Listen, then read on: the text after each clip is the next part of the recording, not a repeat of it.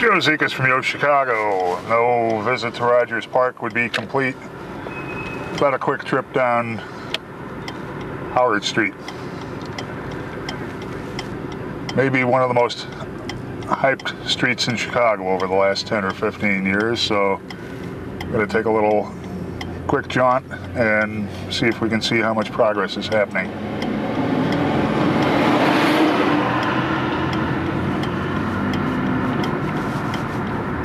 Howard Street has a long history in Chicago, being a sin strip destination back in the days when the North Shore of Chicago was dry. See a new high-rise being built there, and I'm not quite sure what that is.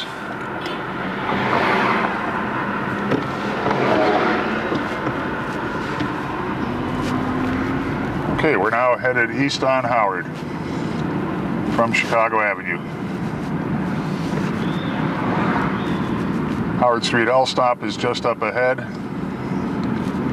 It's a busy transit station. Hollywood Video and a new shopping center that was built several years back on my right. You can go, you can go. And we're looking at the retail development on the north side of Howard Street at this point.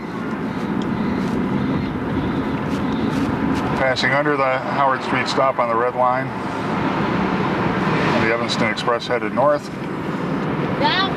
There's always a ton of foot traffic along here.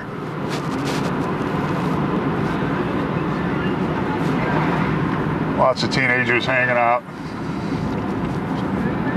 Retail development along here is pretty bleak as you can see. Pawn shops on the opposite side of the street and around the clock food and liquors new city sponsored development going on at the directly in, in front of you.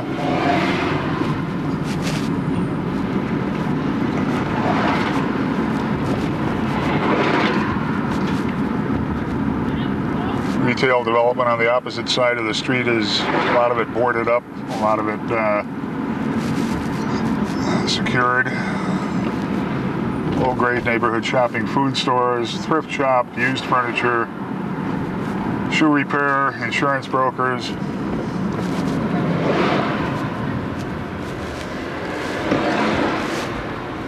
Eddie's Food Mart on the opposite side there. And I'm headed uh, east now towards Sheridan Road.